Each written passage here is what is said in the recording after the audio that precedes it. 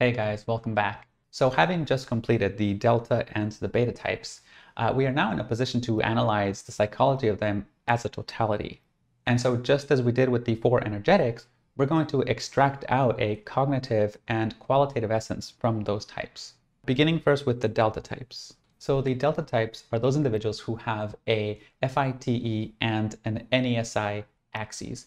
As I mentioned previously, the term delta was coined by Aushra Augusta from Socionics, and she uses the Greek letters alpha, beta, gamma, and delta for the four quadrants which emerge when you think of types in terms of axes. Because Model 1 is a function-oriented system only and it never has had a four-letter code, the conjunction of function axes are fundamental and central to the theory's construction.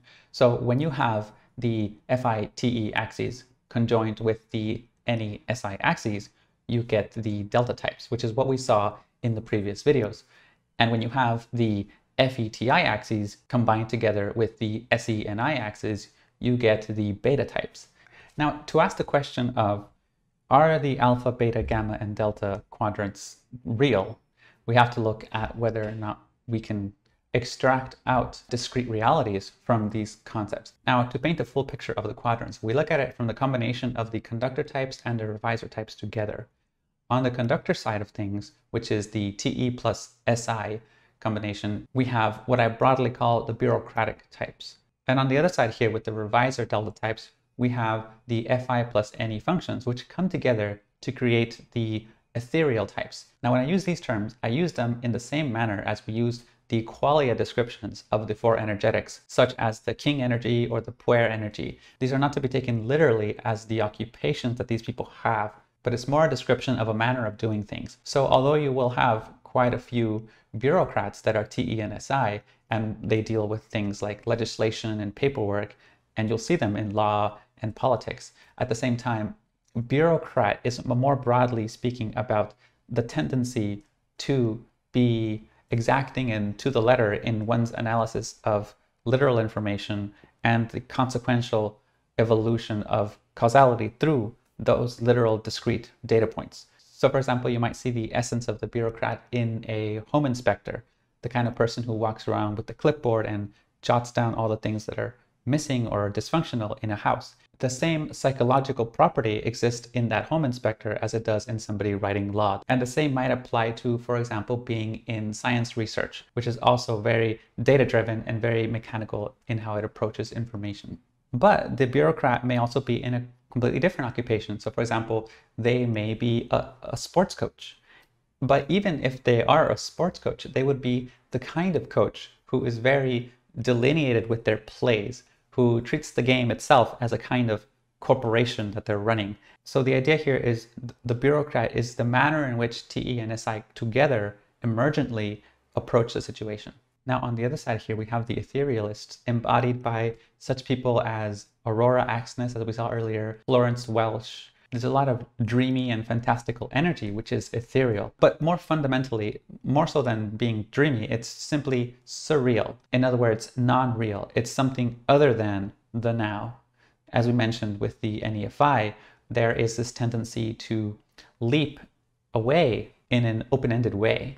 And so that's kind of what's meant by dreamlike. It's this tendency to be whimsical and to fly and soar in an otherworldly way outside of where you are. And we can also see this tendency with the FINEs that we discussed. For example, with Frida, who says that all you need is love. Love is the source of everything. This kind of very romanticized statement, this very idealist statement, which is kind of removed from, again, from the literality of life, exists in a kind of ethereal space where, on one hand, anything can happen, that's any. And on the other hand, what we choose to make happen is those things that are resonant with us, and satisfy our wildest desires.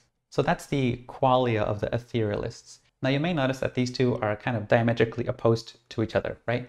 Even though they're showing the same signals, if you think about it. One is very meticulous and exacting in what is actually here. The other is flying away from what is here to what could be.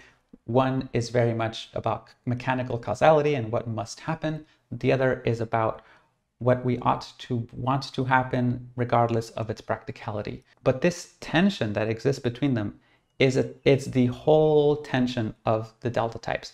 It is within each delta type to experience this internal polemic. The, so it's like the whole polemic is central to the delta type, and that's partially what defines the delta type. So if the delta type is a conductor, they'll be primarily bureaucratic with an ethereal side underneath them, and vice versa. If they're an etherealist, they'll have a bureaucratic undertone to them.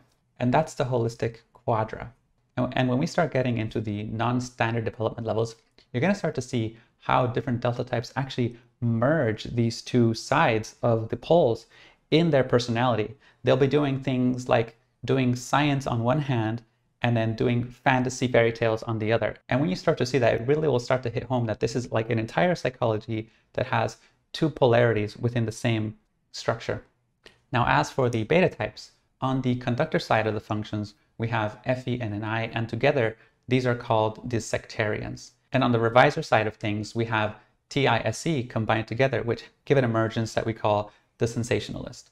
So as with the delta types, the labels here are symbolic and they're qualitative. So sectarian refers to somebody who belongs to a, a, given sect. And the reason we use that word is because if you look at what the combination of Fe and Ni have done in the sample so far, there is this proclivity for them to become, well, on the NIFE side, gurus and leaders who oftentimes have a following around them of believers. And on the FENI side of things, you have life coaches who also have a following around them. And that's because FE as the function has this charismatic quality to it that rallies people together and that creates a sect around it oftentimes. And that revolves around usually a kind of ethic of a, of a way to be, a how to live. But FE on its own is not fully responsible for this because you also have NI and NI is creating convergent universal viewpoints.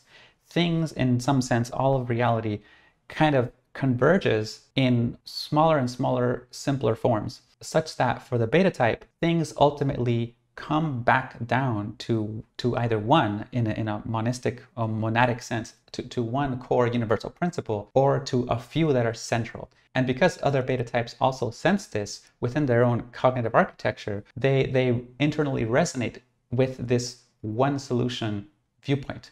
So when you when you have this charismatic grouping effect of FE with the one truth motif of NI, then you get sectarians necessarily because there's a group of people rallying around a one way to be, and that singularity, that oneness, that, that unification, that holism creates a sect around it because there's philosophical and moral convergence within that group as to what is the way to be. That is one of the core properties that FENI accomplish when they're combined together. Now, on the revisor side of things, we have the sensationalist, which is TI plus SE working in tandem. And as we saw with the video so far, there's a lot of convergent motifs around athletics, but also around music and around painting, all of which have a strong connection with sensation. Now, I have to clarify something. Earlier, I mentioned that in Model 1, S does not stand for sensation necessarily. S stands for literality, because that, that is more true of the general combination of SE and SI. What's similar between them is literality, and I would not call SI a sensation process. It's, it's more of an archival process. However, PE is an exploratory process, and the way that it explores is through stimulus. That stimulus for SE specifically tends to be much more literal. So literal stimulus translates to a, an, an, inclination anyway towards sensory experiences. I have to add that disclaimer because at the cognitive level, SE is not bound only to the sensory and SE is a, a cognitive process, more of a cortical process. So I use the word sensationalist in an analytical sense as somebody who is an analyst of sensory experiences. So these are the two sides of the beta types and they also have a kind of internal tension inside of them. On the one hand, you have this deep focus on the universal and the timeless and the ethical and the personal. But on the other side, you have a focus on, on the immediate and the contemporary, as well as the analytical and the more impersonal. And that is a duality which exists in every beta type, and each beta type deals with that duality in different ways, but it's the core drama of what it means to be a beta type, which comes with a, a lot of different creative solutions which all these individual members of this group come up with in order to address the, their existential predicament. So, okay, on the whole, the delta types can be described as bureaucratic etherealists, and the beta types are described as sectarian sensationalists. Now we're going to look at the gamma types.